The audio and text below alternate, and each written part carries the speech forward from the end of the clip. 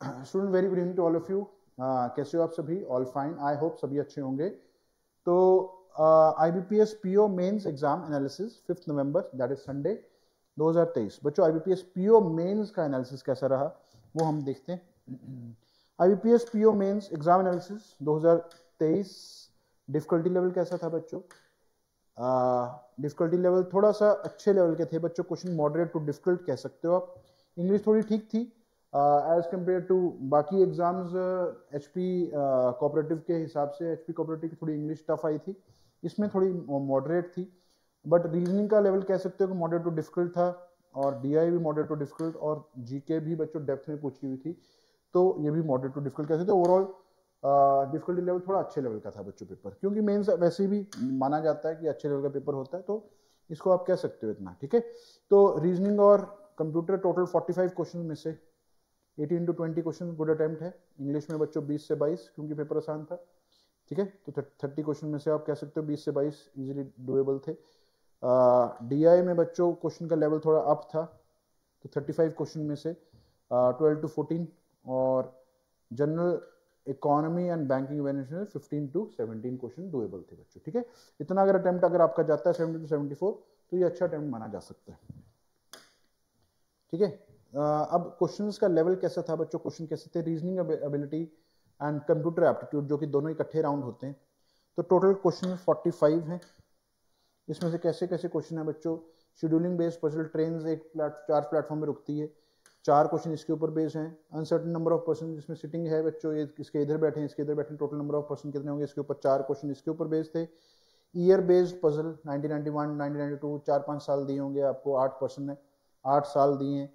तो चार क्वेश्चन इसके ऊपर बेस्ड थे। डाटा सफिशिएंसी के तीन स्टेटमेंट वाले दो क्वेश्चन है। तीन तीन statement A B C A B C इसमें से बताना है कौन सा सफिशिएंट है जिससे आंसर आ सकता है।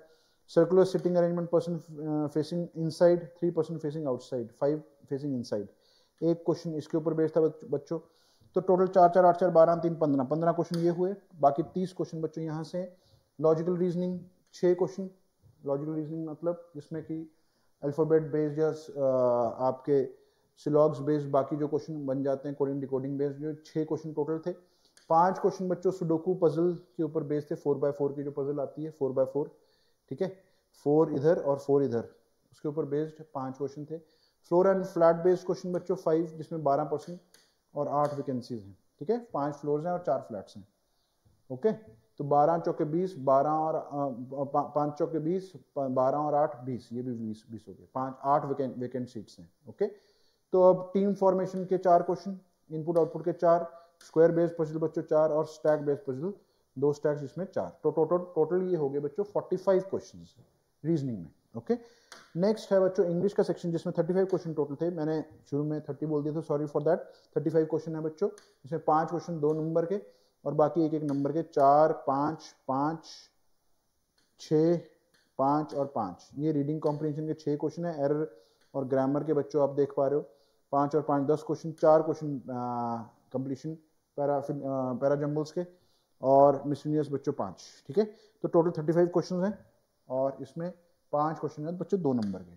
अब डीआई में, अगर हम देखें, सभी एक एक नंबर के क्वेश्चन है तो टोटल थर्टी फाइव क्वेश्चन इसमें line graph data table data interpretation का, पाँच क्वेश्चन इसमें टेबलर डाटा डाटा टेबल में चार परसेंटेज बेस्ड बच्चों, ये स्पीड टाइम डिस्टेंस बेस्ड है, ये डेबिट कैश बेस्ड है, ये परसेंटेज बेस्ड चार क्वेश्चन है। Time and work based D तीन question quantity one quantity two के तीन क्वेश्चन क्वाड्रेटिक इक्वेशन का एक क्वेश्चन नंबर सीरीज़ के बच्चों चार क्वेश्चन अरिथमेटिक के पाँच एल्जेब्रा के तीन और pie chart data sufficiency based तीन question total thirty five question बच्चों यहाँ से ठीक है? तो ये एनालिसिस रहा बच्चों जीके ओवरऑल ठीक थी बट इसमें थोड़ा इन डेप्थ पूछा हुआ था जीके में। तो ओवरऑल आप कह सकते हो कि इस पेपर में सत्तर से चौहत्तर जो है, एक आइडियल अटेम्प्ट हो सकता है। उसके हिसाब से कट ऑफ़ जाएँगी बच्चों। नब्बे परसेंट की एक्यूरेसी अगर आपकी eighty two ninety percent accuracy है तो कट ऑफ़ उसके हिसाब से डेवलप होंगी। तो यानी सिक्सटी थ्री सिक्सटी फोर के आसपास आपकी इसमें कट ऑफ़ जा सकती है, ठीक है? तो ये हमारा एनालिसिस है। अगर आपको और ऐसी वीडियोस चाहिए तो चैनल को सब्सक्राइब कर लीजिए और अगर वीडियो पसंद आई तो बच्चों वीडियो को लाइक कर देना। थैंक यू स्टूडेंट्स बेस्ट विशेष जिन्होंने एग्ज़ाम दिया आई का, उनको बेस्ट विशेष ताकि आपका जो पॉजिटिव रिज़ल्ट आए और आप इंटरव्यू में आगे अपियर हो सकें। ठीक है? चलो take care see you and bye